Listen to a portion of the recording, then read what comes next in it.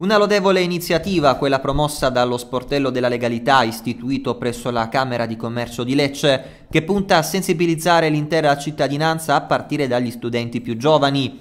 Stiamo parlando di una rappresentazione teatrale tenutasi stamattina presso le officine Cantelmo di Lecce grazie al supporto di Schenè Produzioni Teatrali inserita nell'ambito del progetto intitolato Sportelli per la crescita economica ed imprenditoriale della Puglia attraverso la legalità avviato nei mesi scorsi presso la propria sede con la collaborazione di Union Camere Puglia e Associazione Libera.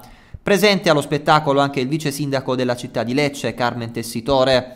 Il progetto è scaturito dalla constatazione che sicurezza e legalità costituiscono fattori strategici nello sviluppo economico, sociale e umano a protezione della libertà d'impresa.